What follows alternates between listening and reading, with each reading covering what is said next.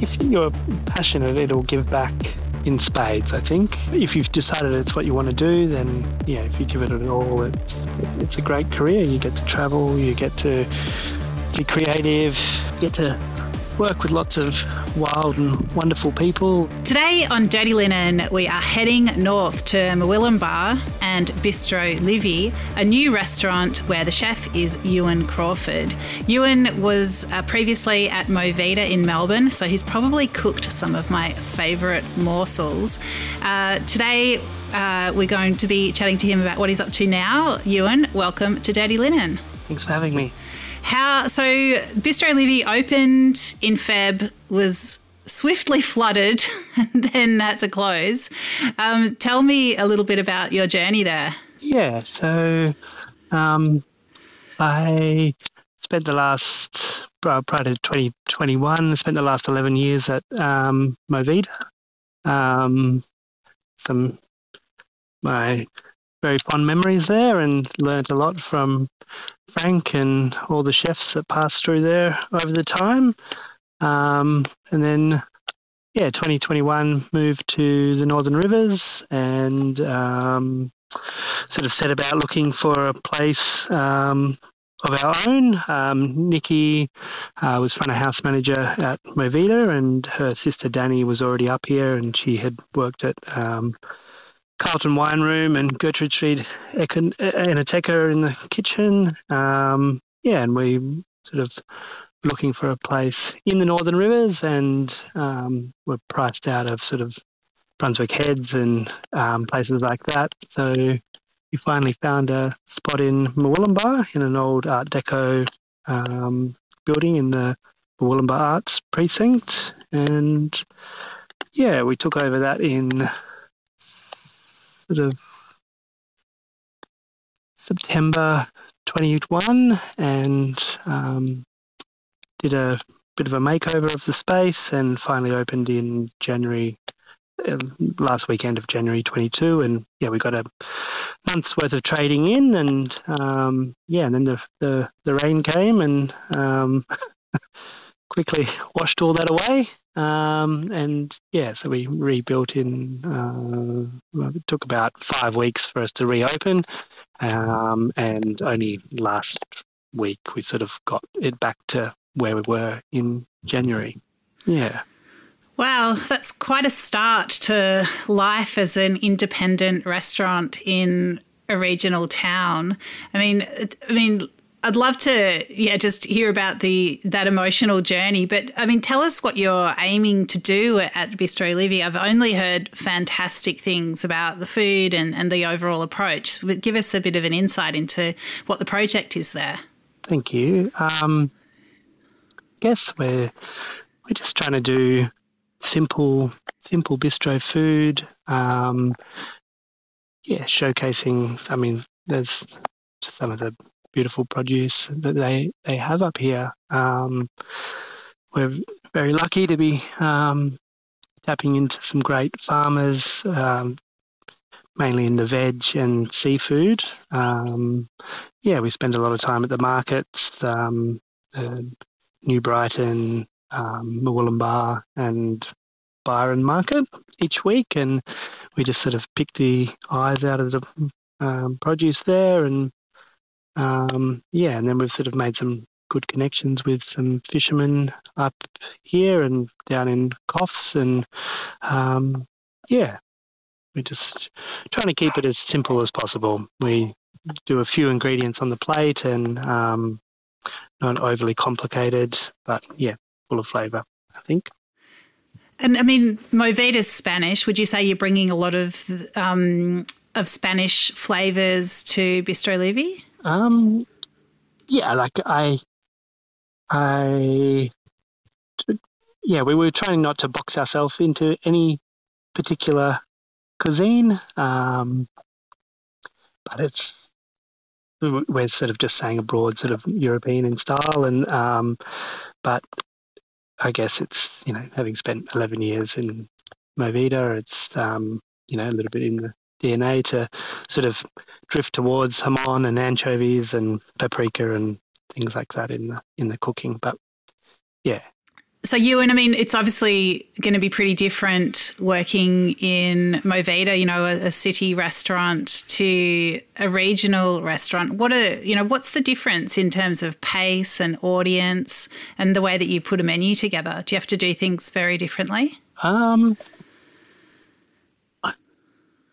I guess like we've just been doing food that we would want to do, whether we're in the city or country. Um, definitely the pace is different. Um, we, you know, Wednesday, Thursday are a little bit quieter up here, and then the weekend is going really gangbusters. Whereas I guess in the city, you know, you sort of can be pretty consistent all through the week. Um, but no, we're just trying to like stick to our guns, I guess, and do the food that we, Danny and myself, want to do. And um, yeah, and so far so good. I think we've had really good. Um, it's been received really well, and um, yeah, yeah, we're sort of getting busier each week, so that's really positive. And um, yeah, the town has been very supportive, and it's not just yeah people coming from other places. It's we're getting a lot of locals through, and which is yeah, that's what we're kind of really after. Yeah, a place that people can come, you know, fortnightly or yeah, it's accessible. Yeah, it sounds sounds really good. I mean, it's so important, I suppose, when you're in a region. I guess you want those that visitor trade, but to be anchored in community, I suppose that's that's always going to be what you need, isn't it?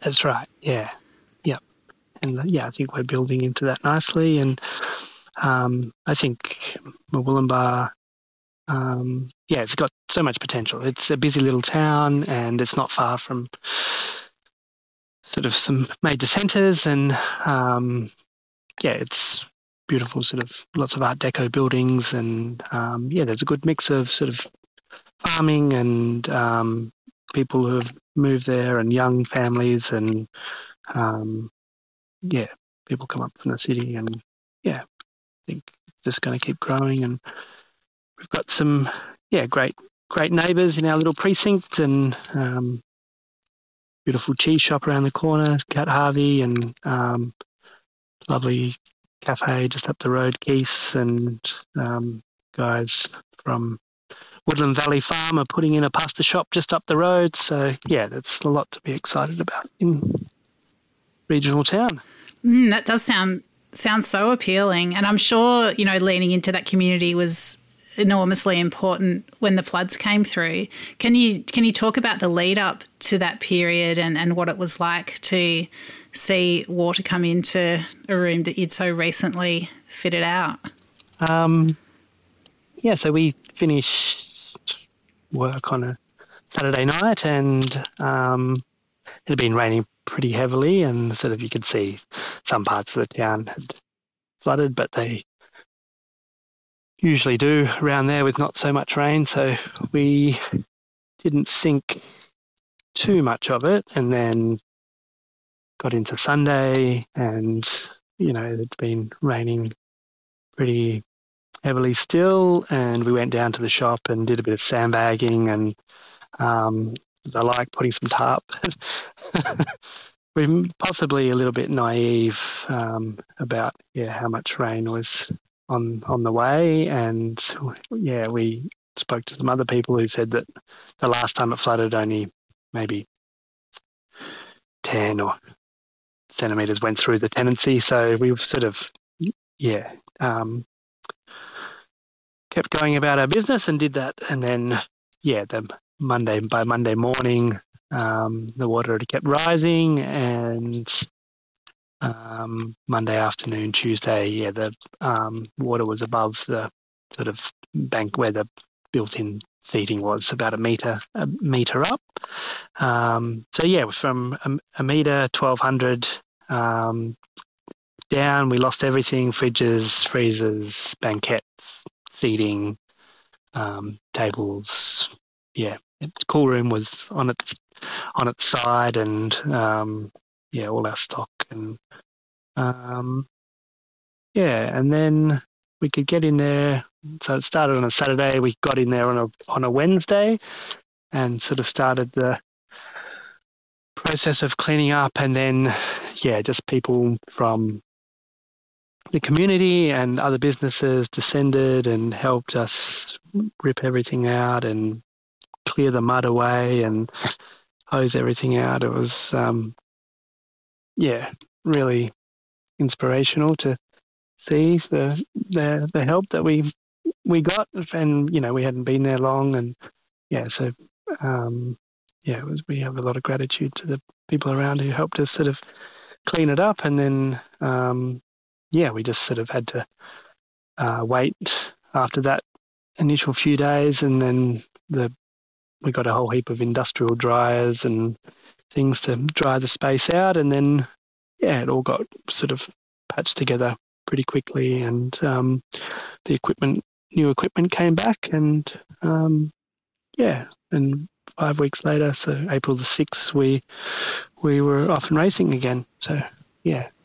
And, well, you you make it sound like a very neat sort of narrative, but uh, I just can't imagine the feeling of, um, you know, seeing these optimistic sandbags or just you know somewhere down there as the water came through. I mean, what did it what did it feel like to to you know see your business, your baby like this? Well, we we couldn't um, we couldn't get down to the um, town to see it. So once sort of Sunday afternoon um, had come by, we were stuck um, at the house, and we just yeah just listening to the rain all through the night. Um, yeah, starting to get worried, obviously. Um, yeah, good bit of 15 hours of flat out rain. Um, and then we just got snippets of video from people who were in town saying,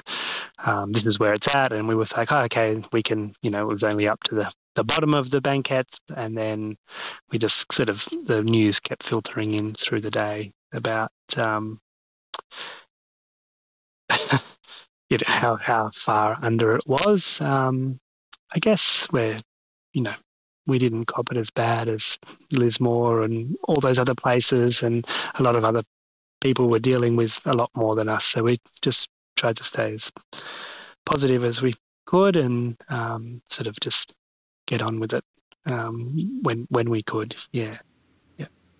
And did your insurance cover the losses? Yeah, they did. Yep. So we were very lucky. Um, our we were umming and ahhing about flooding and flood insurance, and our other business partner, um, Rob, he just said it's a, it's a no-brainer, and we got it. And um, yeah, they were pretty quick in the initial bit and got us some funds so we could sort of get equipment back and sort of get open. And then yeah, we got a um, took a you know five months, and then we were able to get the the last of it, and um, yeah, just get it back to where it was in January. Yeah. Wow. I mean, that's a that's a good. It's good to have a good news story about insurance. I mean, as you're rebuilding, I mean, what do you? How do you sort of process the idea of the next flood and you know dealing with it again? Um, obviously, it's yeah. Um, a hot topic, and um, we have sort of, as a business, sort of talked about having a flood plan, and um, you know, we we sort of know whether the water came in at this sort of size flood, so um, getting the things out that um, we can, because all the banquettes they just bolted in, so we could pull those out and the fridges and stuff we could have pulled out, but we just didn't think that there was going to be that much water. And um, so we just have a um, somewhere to take it in higher ground and um, things, the walls have been resheeted with different materials, so they should um, be okay if water came another time. But yeah, fingers crossed none of that happens. I'm not sure that we could cope. Well, I hope you don't need to, but I think it's, I mean, as you say, it's a hot topic. And I feel like, you know, these one in 100 year floods that happen a few months apart in, you know, in that part of the world, it's, um, it's, it's probably very wishful thinking to, uh, to think that it won't happen again. Yeah. Yeah. Ewen, let's let's track back and talk about your journey as a chef. I mean, what was it that um, that took you into the industry in the first place? Um, wanted to get out of school, uh, probably a lot of um, young yeah chefs. Uh, my dad is um, a good cook and interested in food, and was always very creative at home, I guess, and trying lots of things from around the world when we were younger, and I guess that piqued my interest. And um, I did a few work experience things when I was younger, and sort of yeah, when I got to yeah, I didn't want to do higher education, so I yeah started an apprenticeship. Um, in I'm from um, country WA originally, um, Albany down in the southwest, beautiful part of the world.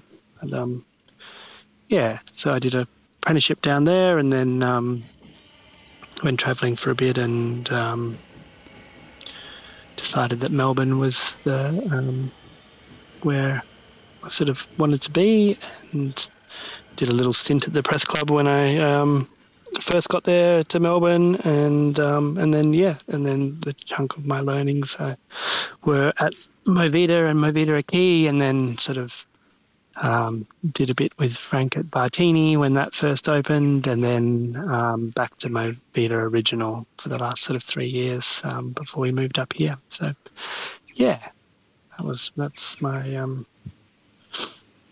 then when we got to Northern Rivers, I helped out at um, La Casita with Josh and Astrid there, and um, did a six months at their pop up um, doing the ramen um, down in Bruns, where the fleet site is, and uh, that was great fun with um, Daiki.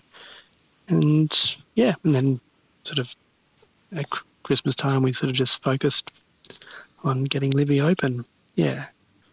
But my time at MoVida, wow. um, yeah, was just incredible. And Frank's an amazing chef and human. Um, yeah, they, they were really supportive of, of me over the years and helped me, yeah, sort of work my way up the up the ladder there. And um, yeah, Frank's um, yeah, it's a very good cook. Well, the, la- the last two times that I've seen Frank Camorra, the founder of MoVida, it's been at culinary colleges. So I saw him at William Angliss, where he'd spent the day there cooking with the students and preparing um, a, a basically a menu there. Um, it was really extraordinary to see. I guess you know some kids are going to you know get lit up by an experience like that more than others but i I, but i think there's so many there were so many eyes on him and there was such um, respect and um, wonder at watching you know these dishes come together. It was it was really really heartening especially in a time where you know we know we need so many um, people coming through the industry. And the most recent time that I saw him was just the other night. It was at Box Hill um, Institute uh, where Frank himself had actually studied cooking back in the day. And he was back there alongside Guy Grossi and Ian Curley. And we were all part of a, a fundraising dinner for a student hardship fund. And again, it was just really it was just really heartening. You know, Frank had donated his time, as had the other guys, um, and just to to be there, I guess, giving back to the industry, being that that mentor and that leader. I mean, um, does that sound characteristic of the guy that you know as well? Yeah, absolutely. And like they've been doing the great chefs dinners for years and stuff at William Angliss, and yeah, they've always sort of been big, big supporters, and um, you know, taken on. Um, apprentices and train people up. And yeah, it's a testament to Frank and that a lot of staff have stayed for um, such a long period of time. Yeah, it's just a good culture, and um, yeah, people can see um, there's room to grow, and there'll be opportunities, and there was sort of not just yeah sitting back there. What, yeah, what do you take forward um, now that you're a business owner? I mean, what do you take forward from that experience into your own business? Yeah, we would love to, um, as we get busier, um, expand and be able to take on apprentices. I think that's our next our next step. And at the moment, it's just Danny and myself in the kitchen, and um, we have um, yeah somebody to help out. Great young kids helping out on the dishes and stuff like that. But yeah, our next step is definitely to take an apprentice on board and um, yeah, help somebody grow and see if they're passionate about the industry. Yeah, yeah. But we've got um, Nikki's got some great people out the front as well, and young um, young person who really keen to learn and yeah, yeah. That's it's nice. Yeah, it's it's so good to hear because. Um, you know, everyone is struggling for staff. I mean, do you feel like there is a sort of enthusiasm that you can tap into when when it's the right time to take on those apprentices? Yep, yep. We've had some. Um, we've had inquiries already, and we're just we're not ready as a business, but um, yeah, um, uh, it's yeah really positive. It's positive that we'll be able to find some good good help when when it's needed. Yeah, yep. Mm, so good. Really, I'm really excited to hear that. I mean, if so, if if like someone came to you, they're like, oh, I'm not sure, you know, about the right pathway. I don't know. I'm sort of interested in food. I mean, how would you sell hospitality to them? Um. Oh, look. If you if you're passionate, it'll give back in spades. I think. Um, if you if it's what if you've decided it's what you want to do, then yeah, if you give it an all, it's it, um, it's a you know, it, it's a great career. You get to travel, you get to be creative, um, you get to work with lots of wild and wonderful people, and yeah, I think it it's hard, but it's yeah a very rewarding industry. Yeah. Um, and you and uh, I'm looking forward to coming up to um, to Livi. Tell me what would you feed me if I came if I came later this week? Um, so we've just been getting amazing um, wild shot um, venison from up here. Um, so we'll be doing something with that this week. Um, beautiful um, spanner crab in um, curry butter. Um, it's snapper season, so there'll be some snapper with fermented chili dressing. Um, and there's always plates of anchovies and maybe a bit of jamón kicking around. So, yeah, some house made butter and bread. Yeah, I think you can go wrong, really. That sounds all so good. I would definitely smash everything you've just mentioned. What about for dessert? Um, so I guess we've got one mainstay at the moment, which is um, set cream, and um, that's got some local honey and merlot vinegar over the top. And yeah, we've got some other. We just roll through a bit of like chocolate cake or um, coffee granita, um, some sorrel sorbet, um, yeah, things like that. But the set Yum. is the is the go to that sort of people. Yeah, we haven't been able to take it off yet. So. Yeah, well, I would not let you take it off either. It sounds so good. um, Ewen, um, so great to have a chance to chat to you, hear more about what you're doing and, and the journey that's taken you there. Really appreciate your time and, yeah, wish you all the best um, in Willenbar and Bistro Livi. Um, yeah, congratulations on the, the success you've achieved so far. I'm sure there's a lot more to come. Thank you very much. Appreciate you having me. This is Dirty Linen, and I'm Dani Valent. We air the issues that the hospitality industry finds hard to talk about, hearing from different people with unique perspectives. We want to hear from you as well. If you have something that needs to be said about a topic, get in touch so we can include your perspective. Contact us at dirtylinen at deepintheweeds.com.au or hit us up on Insta at Dirty Linen Podcast. We can't wait to hear from you. This